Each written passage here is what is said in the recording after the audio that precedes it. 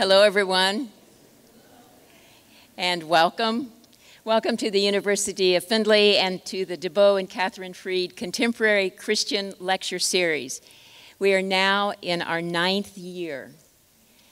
The series was established to honor our 16th president, Dr. DeBow Freed, and his First Lady, Catherine Freed. Together, they enriched our campus community and the communities we share with the Churches of God General Conference and with Winebrenner Theological Seminary. Tonight's speaker, Ms. Nikki Grimes, Harlem born, foster home raised, began writing at age six as a way to cope. It was a lot easier to write an angry poem, she said, than to punch someone out and land in the principal's office. As a writer, her dream, her plan, was to write the great American novel. But God, she is quick to add, had a different idea. And God intervened. Ms. Ms. Grimes' idea for a children's book became a re reality. And soon after this first manuscript was accepted, and, and Grown, or Gr Grown was published, she had an idea for a second book, and then a third. And as she noted in an interview for the Kennedy Center, the next time she looked up, 30 years had passed, and she had a career as a writer of children's books. In the shaping of her stories and poems, tonight's guest calls on personal memories, private conversations, and public responses to equality and rights. She addresses the uncomfortable and presents solutions for righting wrongs. And in the process of writing, she listens to the voice of her characters.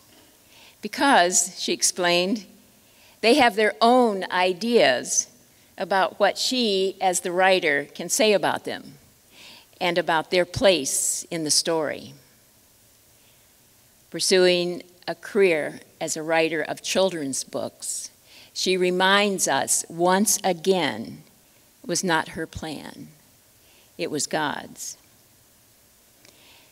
An early reviewer has this to say about Mrs.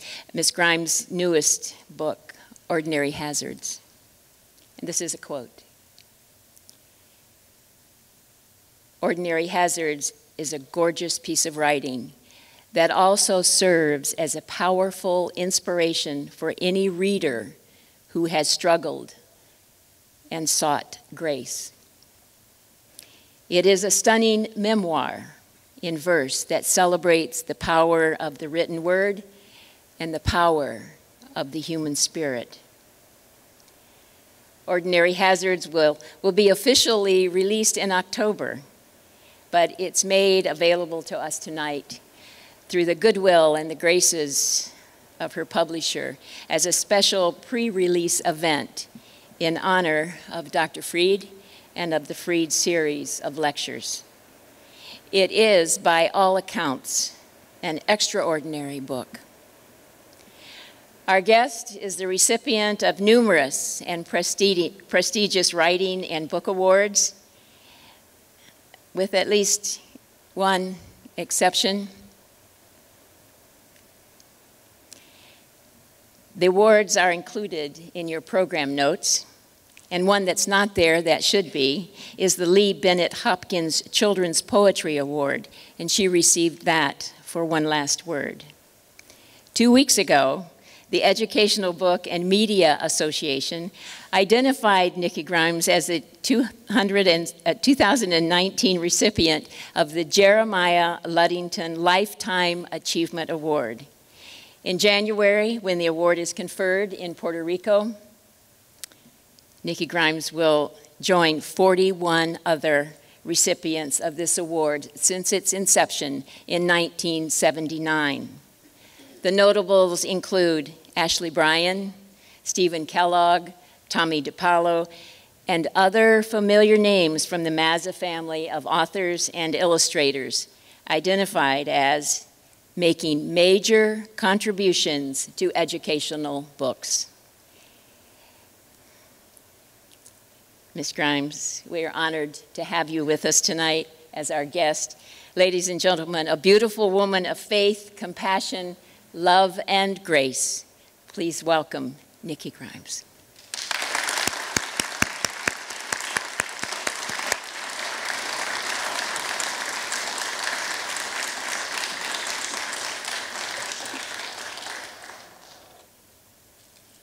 Thank you, Marie.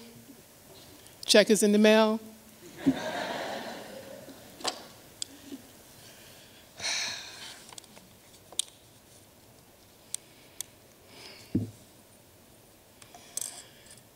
Paris and David were alone in the dining room setting table, setting the table.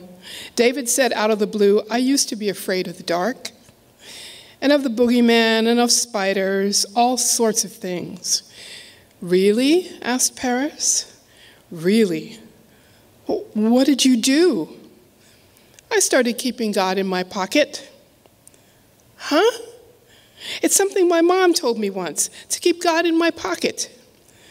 I don't understand. How, how can God fit inside your pocket?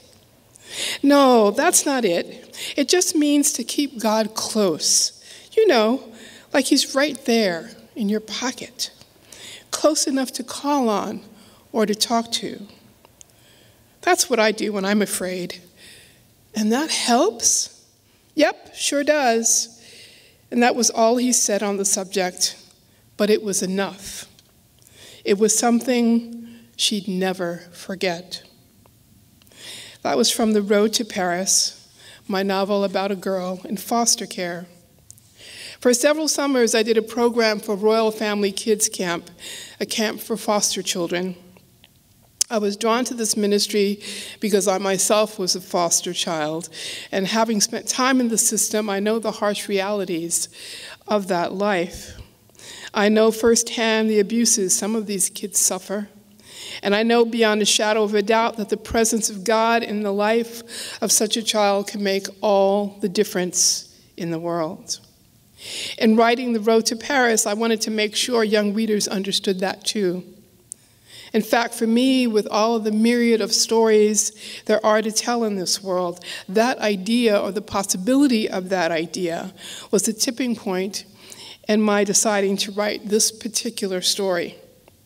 It fits into the broad spectrum of my agenda as an artist, which is to create work that heals, helps, restores, inspires, and is of service.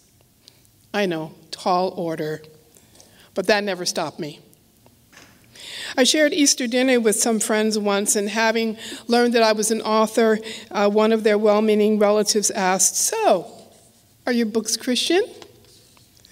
I've been asked this question any number of times, and while I respond a bit differently on each occasion, I do have a stock answer. And so I said something like Christianity is the grid through which I look at the, at the world and comment on it. And so, in that sense, everything I write is Christian. Now, I know this was not the answer she was looking for, but thankfully it seemed to satisfy. It doesn't always. I find that people are only truly comfortable when they can slot you into a neat category. Sorry, can't help you with that.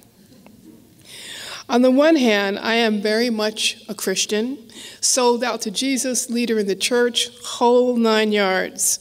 On the other hand, I am a fully vested and fully established author in the mainstream market. How does that work? How do I bring those two worlds together? Am I even supposed to? Oh, to poet like a laser, pierce darkness with one word. That is my dream. To pierce the darkness, to bring light. That is what I consider my call. And it is with that intention that I write. Sometimes my mandate is to help readers navigate the rough waters of grief as the character Darian wrestled with in between the lines. Private Pain by Darian Lopez. Numb, I sit on the edge of the bed, mummy and papi share, shared. I feel light as the ghost my mother has become. Her picture on the bedside table looks blurry until I wipe my eyes. Pobrecito, she would say, if she were here, if she were anywhere in this world. Mijo, she would whisper and touch my cheek, and I would answer, Mommy. But this time, the word never leaves my throat. And what difference does that make? When I wasn't looking, Mommy's heart stopped like a broken clock, half past 36, the final tick, the final talk. Explain to me exactly how I'm supposed to tell time now. Sometimes I'm digging for the true treasure of holy days long smothered by commercialism, like Christmas. What happened to the Christmas of the Bible? The story that started it all. Sometimes I revisit it and take readers along. Hear Gabriel in Voices of Christmas. Hush, the hour is late. Nazareth lies sleeping, and I wait for my Lord's signal to once again go to earth below. When last I went, my words were for Zechariah. Now I pace the halls of heaven, memorizing a message for Mary. Every archangel I see envies me. I must get the message right. The light of the world is on his way. What will Mary say when I tell her? I wonder what he'll look like.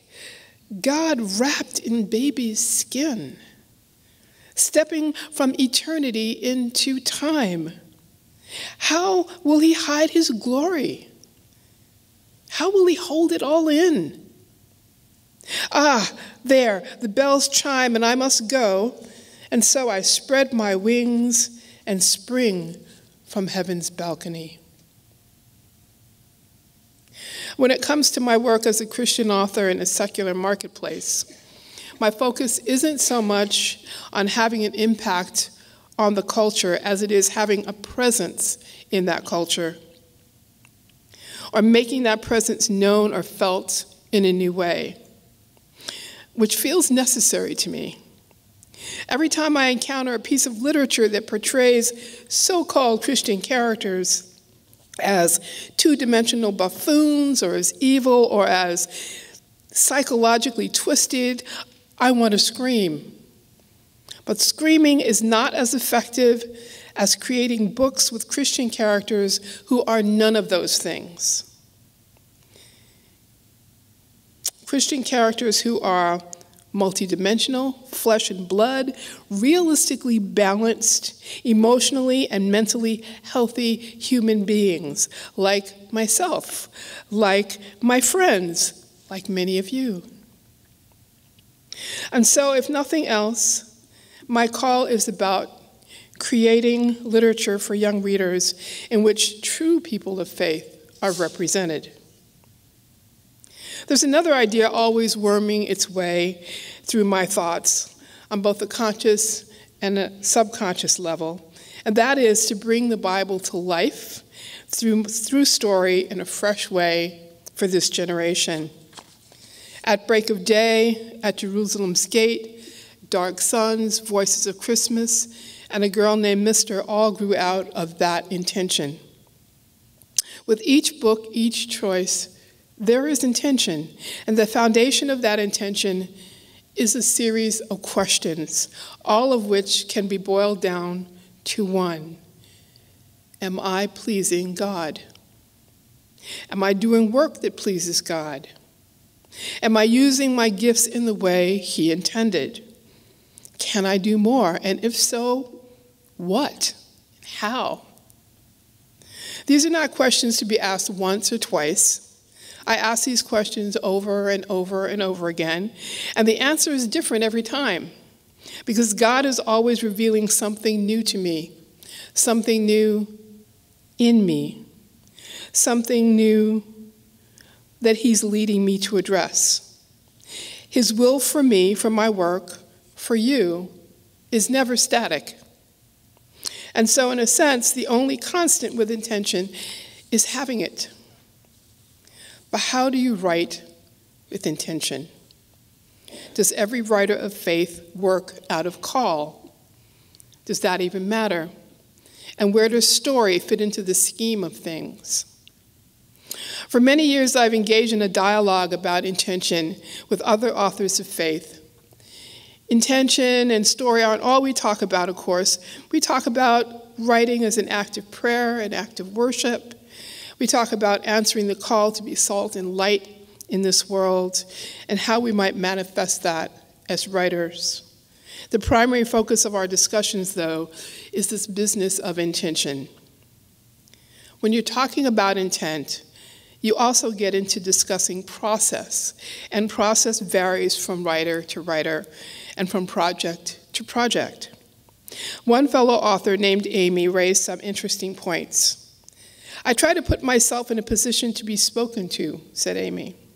I read my Bible, I pray, I try to work on my relationship with God, and He knows I need Him every step of the way as I'm writing.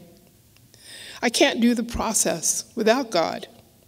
But what if the only thing God is telling me to do is write the stories that come to me, and none of those stories are Christian in focus. And my answer to Amy was, well, then, follow God. Whatever you do, follow God. But her question reminded me how easily the idea of intention can be misconstrued, misconstrued. Because intention for me is not about creating Christian themed messages or Christian themed literature per se. I'm not composing devotionals. I'm no theologian. I know nothing of hermeneutics. I'm in the business of telling stories. And for me, it is important that those stories have a definable purpose from the start. Always in the back of my mind is a saying I heard years ago if you aim at nothing, you'll hit it every time. So I tend to look for something specific at which to take aim. But Amy's process, and perhaps your own, is quite different. Amy says she writes to tell herself a story, that she writes because there's something she doesn't understand, and writing a story helps her figure it out. Another good friend named Catherine talks more in terms of broad strokes. She's driven by the Herculean themes of redemption, forgiveness, and grace. My own scope is a bit narrower. In It's Raining Laughter, my poetry book with Myles Pinkney, I danced around the sweet and simple joy of childhood. I caught the laughing bug the other day. Who spread the germ to me? It's hard to say. My brother told a yucky monster story and had to laugh himself. It was so gory. My sister squealed with joy and giggled when Dad tickled her. Did I start laughing then? Someone infected me with glee that day. I wonder if God's love could spread that way. And when Daddy prays, I focused on the normalcy of prayer in the workaday life of the believer, spoken in the voice of a child as he watched his father model what it means to be a man of faith, a man of prayer. Daddy takes his early morning post at the window, worry lines his walnut brow. He bows his head, skips the small talk, and quietly ticks off the troubles that litter our street like broken glass. He asks God to meet me at the corner wielding an invisible broom to sweep aside whatever dangerous slivers I might miss. Unseen, I linger near Daddy's bedroom door, hear him blasting this day's evil in Jesus' name. Then I rush outside, laughing off the winter's chill, feeling warm and fearless. In Thanks a Million, I tackle the attitude of gratitude. That's the core of the poem titled Shelter. I wish these walls were ours. I wish this bed were mine, that dinner time meant just us three my brother, mom, and me. I wish I had a room that I was forced to clean. I'd gripe to my best friend and say, Come to my house and play. Things could be worse, I know. At least I'm not alone. My mom and brother hold me tight when I cry late at night. Where do the ideas come from? Sometimes it's a snatch of dialogue or a passage of prose that plants itself in my brain, and I circle it like a spider, laying down story in sticky strips, one over the other until the web is complete. That was the case for much of the writing in Jazmin's notebook. This passage was one that got me going. It seems to me that ideas are like gossamer or mist, fragile as a dream forgotten as soon as you awake. I guess that's why they're so hard to hold on to. But that's also what makes them wonderful and more than worth all the trouble. At other times, I plod along the desert of my mind, laying down character and plot in a dry fashion, waiting for the drop of inspiration that will make the desert bloom. When I wrote The Road to Paris, I shook my proverbial canteen and outflowed the line, Keep God in your pocket, which led to the passage I opened with tonight. I love that line, and I'm not the only one. A few years ago, I spoke to students in, uh, Baltimore, in Baltimore at a library, and their class had just read The Road to Paris. And one of the students came to the event with something special for everyone. She passed around a basket filled with colored discs on which she had written in gold, God. She wanted each person to have a reminder, not of the book per se, but of God's closeness. I had a hard time not weeping then. I have a hard time not weeping every time I think of it. You never know what God's going to do with what you put out in the world. Even though that line came from my pen, I can hardly take credit for it. I'm just happy it's made an impact on some of my readers and grateful that the line came to me during the writing process.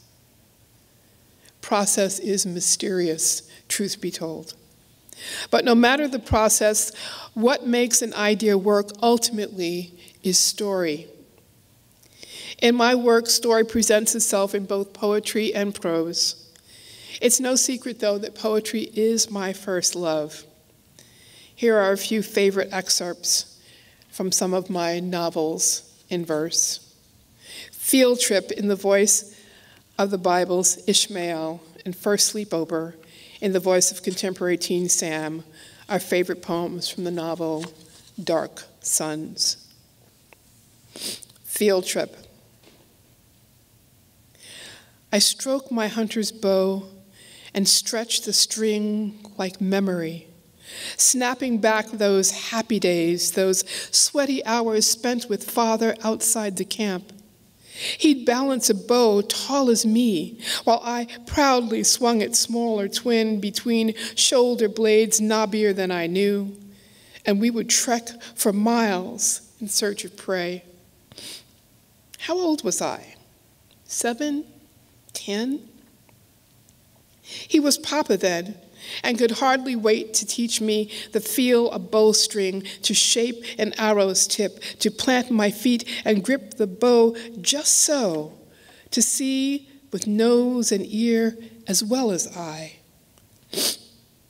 These were lessons whispered on the wind. Listen, son, he would say. If you are still as oak, you can sense your prey before it bounds into view.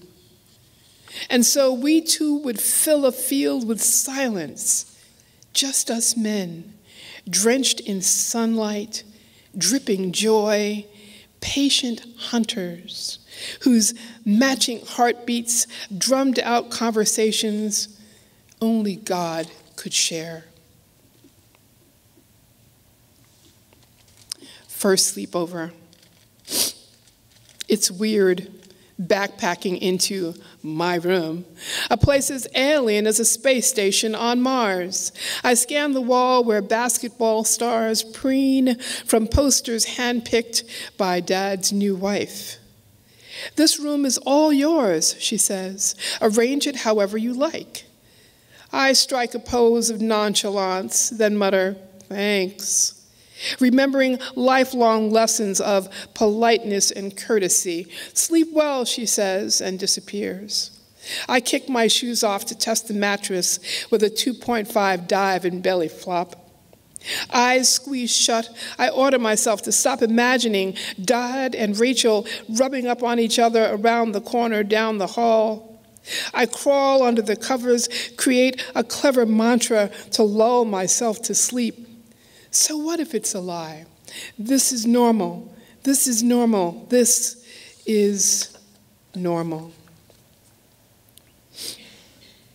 There are many subtle and organic ways to weave the presence of God into a story, even when the story is geared for a secular audience. In Words with Wings, the opening poem introduces both the name of the main character and the faith of her family with a single flourish. Prologue Mom loves angels.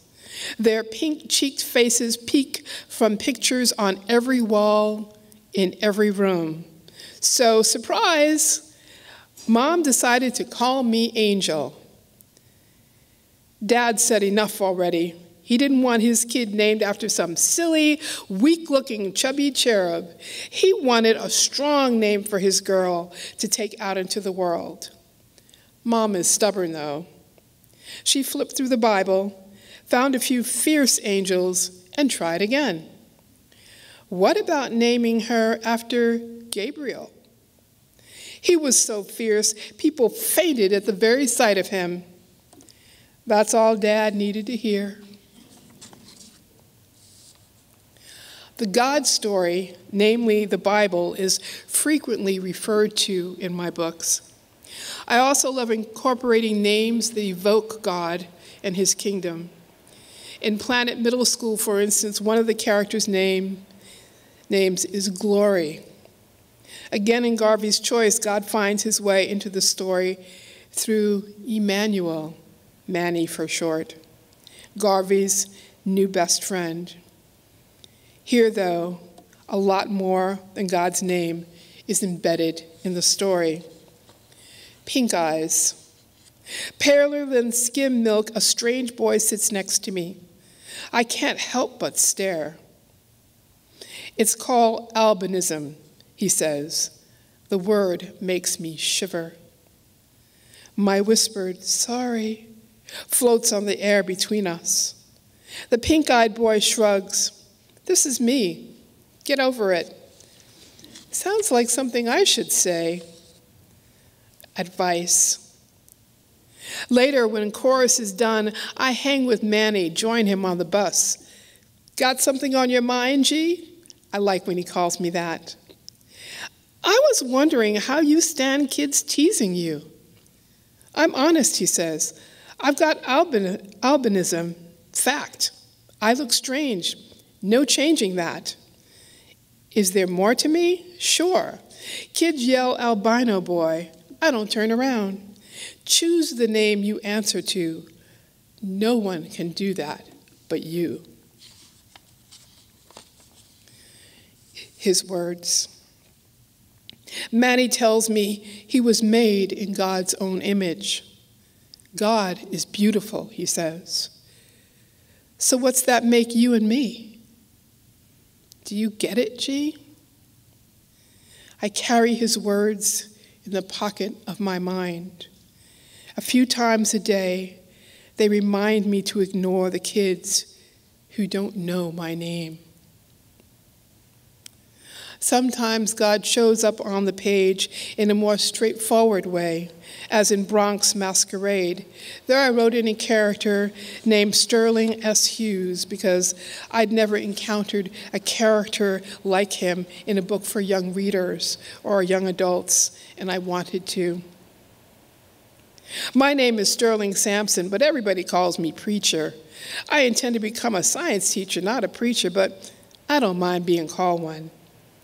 Just so long as you don't call me Samson, I'm hoping to end up in a little better shape than he did.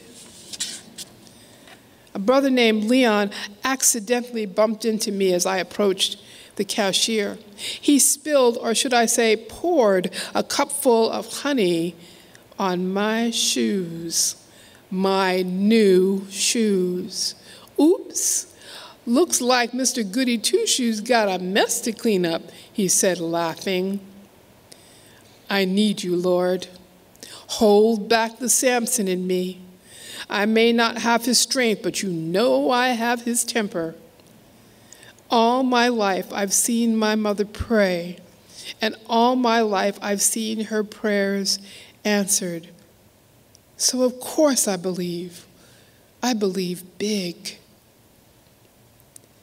And between the lines, faith in God is the biggest reason Darian survives his mother's death, that Malcolm survives his father's incarceration, that Kyle survives a life of heart defects. Hope. The heart can be a fragile thing, but we forget. It's hidden so deep inside the chest, the beats are imperceptible unless fear, anxiety, and exertion makes the heart race, thunder violently against the rib cage, a rage of blood bringing it to a full stop or skip, leaving us in that netherworld halfway between life and death, the end of breath, if only for a second.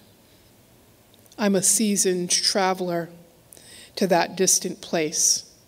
My heart, a fragile passenger riding on the will of God, on the will God still gives me to be here one more day, to hope for one more tomorrow. Confidentially speaking, hope is for the strong, not for the weak, yo and I would know. Finally, of course, comes Ordinary Hazards, a memoir.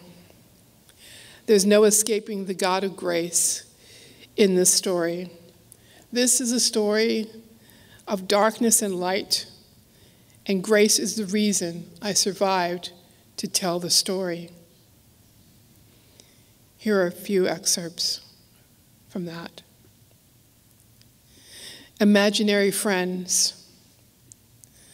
Mommy had a secret life, a kind of play that was more serious than I knew.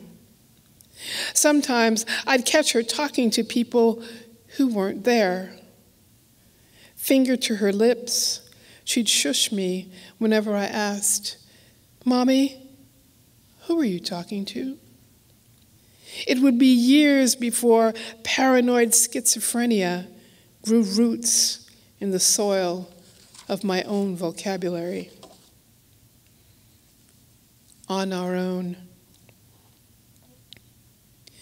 No one warned me the world was full of ordinary hazards like closets with locks and keys I learned this lesson when mom, without her cousin to fall back on, left us daily with a succession of strangers while she went to work. One woman was indisputably a demon in disguise, full lips grinning slyly as mom waved goodbye each morning. See you after work, mom said that first day. The second she was out of sight, Demon's smile melted like hot paraffin. Snatching up Carol and me, she dragged us kicking to the bedroom closet. She shoved us in quick as the witch in Hansel and Gretel, jamming the key in the lock. You tattle to your mom about this, she growled. I'll come back and beat the black off you. Deadly threat delivered. She left for the day. Two, I screamed, my puny fist pounding the door till Carol caught me by the wrists and held me still. Shh, she whispered. It's okay. I'm right here. Once my breathing slowed, Carol left me long enough to navigate the darkness.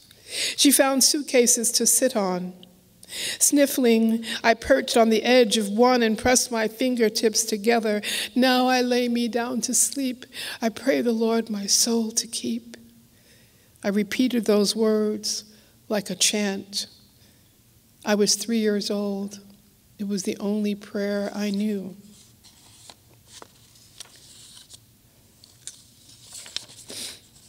Mm-hmm.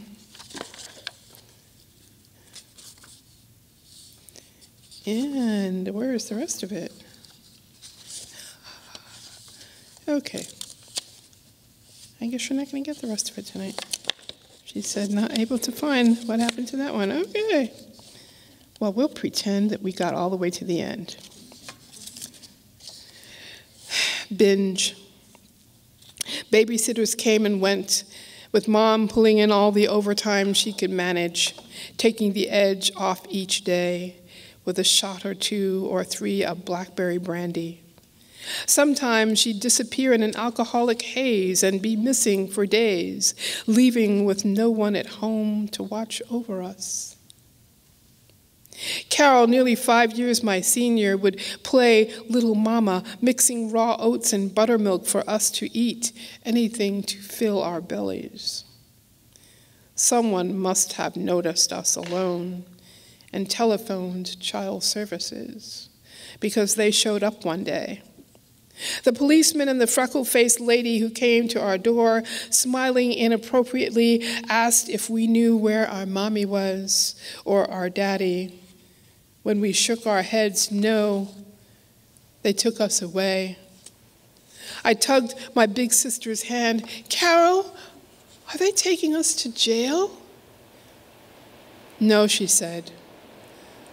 So, why did they pile us in a police car like we were guilty of some crime?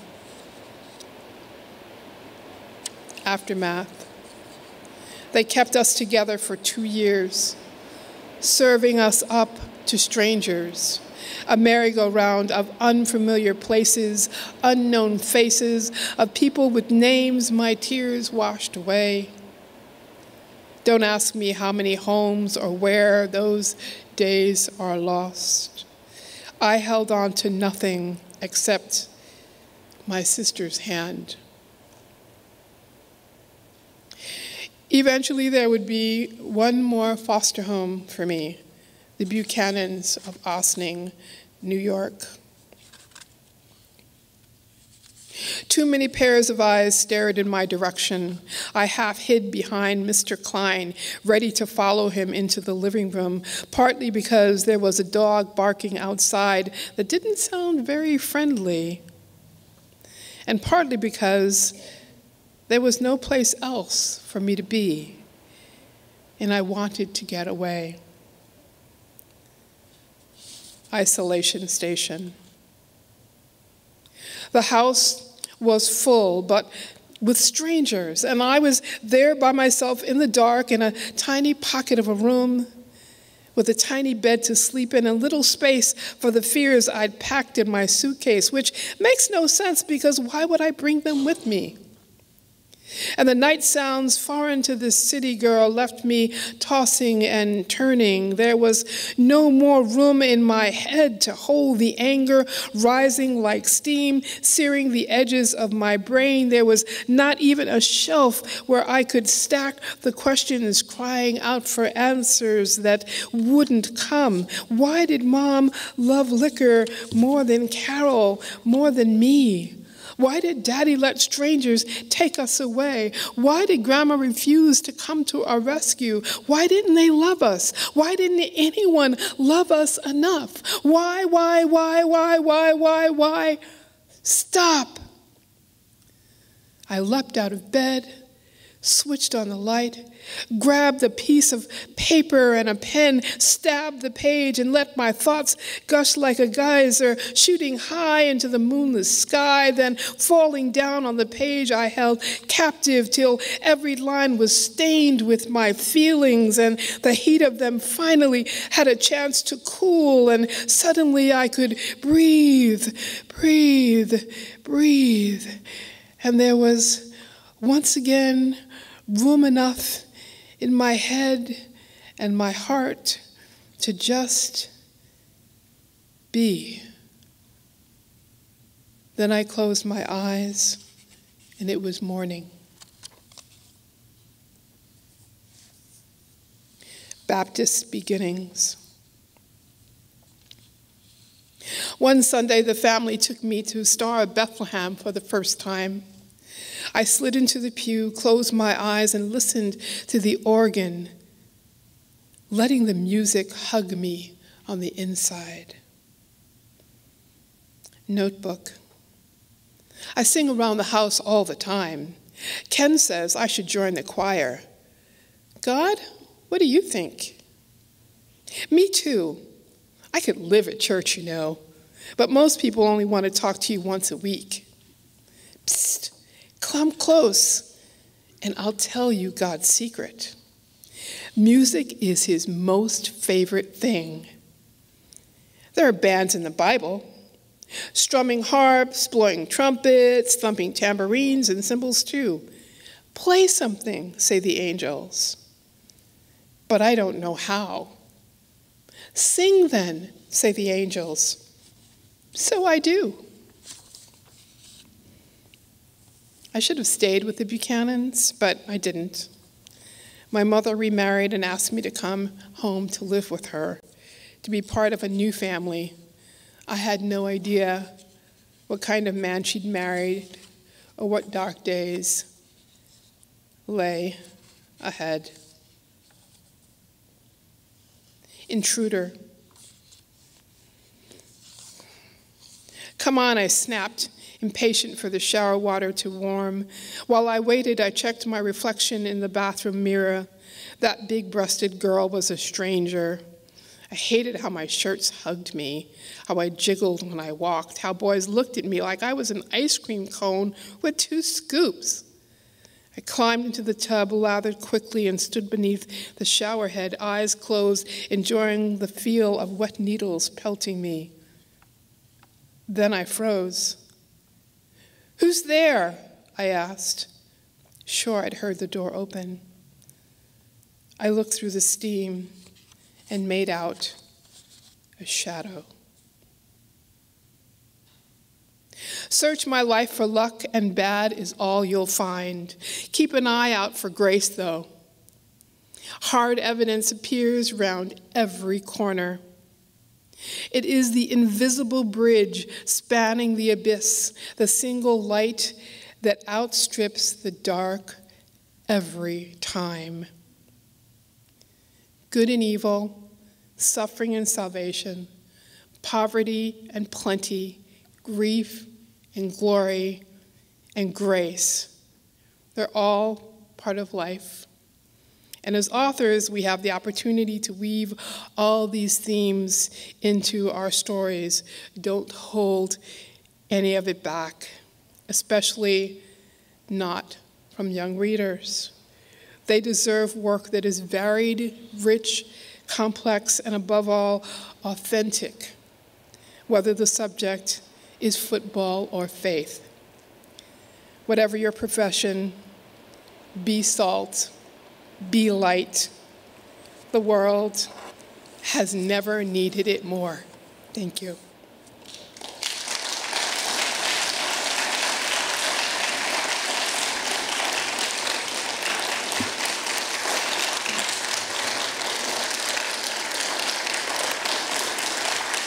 Thank you.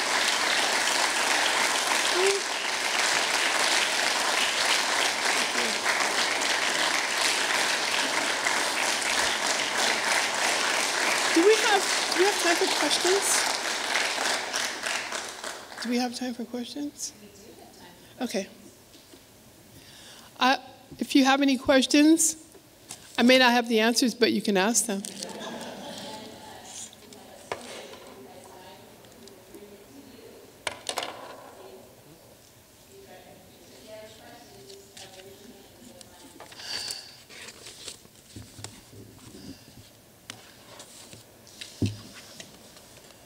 Come on, don't wait for me to go back to California.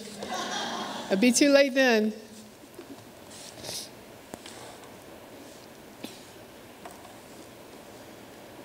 Um, I was, first, thank you. Thank you.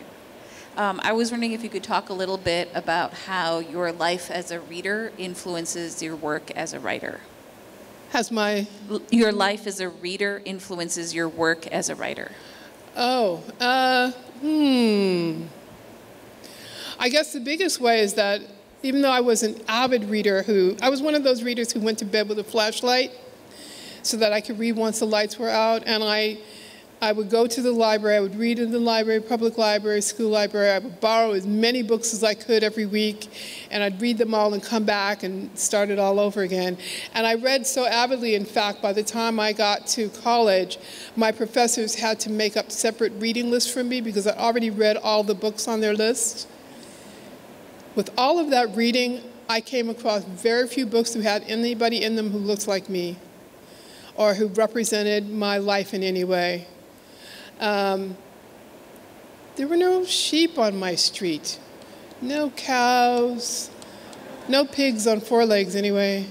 You know, and I was like, where are stories about the city where I live and about people who look like me? So that definitely impacted my choice to write what I do. I wanted to have books that featured not only African Americans, but who lived in different places, in different environments, because the books that I came across were either about slavery or they were African folk tales or they were the civil rights era, and we did not exist in books beyond that. And I'm like, hello, we're here.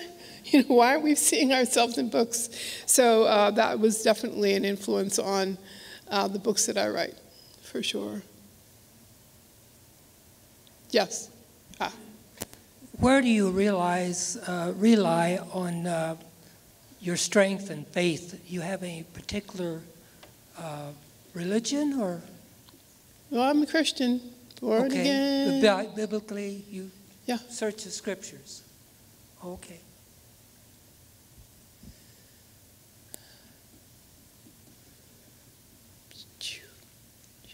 Yes. Um, so having foster parents, would you say that the one, the last set that you were talking about, were they the ones who influenced you the most when it came to finding God and like? In every in every way, they were great. Of course, at my age, I didn't realize who they were, what they were. Looking back, I realized, oh, God placed me in a God-fearing household. That was not a mistake. Um, and they, I learned mostly from example how they lived their lives and how they cared for people. There, there was a, a, a family who'd been fostering kids for years and continued to foster long after I left. And they adopted uh, a couple of kids along the way, too. Um, but they were powerful um, people of faith. And yeah, that had everything to do with uh, influencing me and giving me, like, from the very start, a really positive experience in, in the church, in church life. So, yes. Why do you want to tell people about your life? Why do I want to tell people about my life? because I feel that my story is the single most important story I have to tell. Um, and because it is a story of both darkness and light, and a story of great grace. And I think that's the kind of story we really need to hear today. To know that there is definitely light at the end of the tunnel. There is reason to hope. That hope is, sorry, I love Emily Dickinson, but for me, hope was not a feather. It was something really solid and strong. It was a rock, you know, for me to stand on. And, uh, you know, is a lot of the reason I am here today.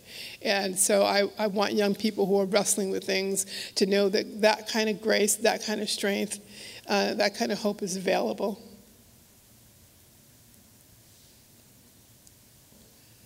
Yes.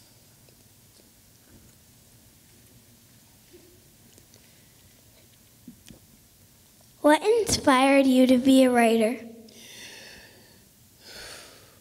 Well, when I first started writing, reading and writing were my survival tools. They were how I just got through life. I didn't even think about writing as a profession until maybe high school. But up to then, it was just um, how I got things off my chest.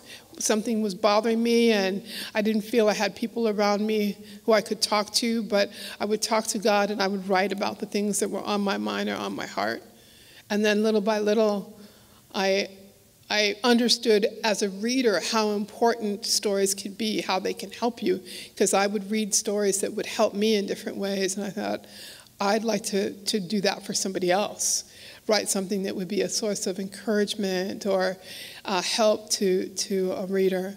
There's something about reading a story when you think, you know, you're wrestling with something that you think nobody else has ever wrestled with uh, or nobody else would understand, and then you come across a character in a book that is living that exact same thing, and all of a sudden you feel less alone in the world. And so I wanted to put out stories to the world that would have that kind of impact on, on other readers.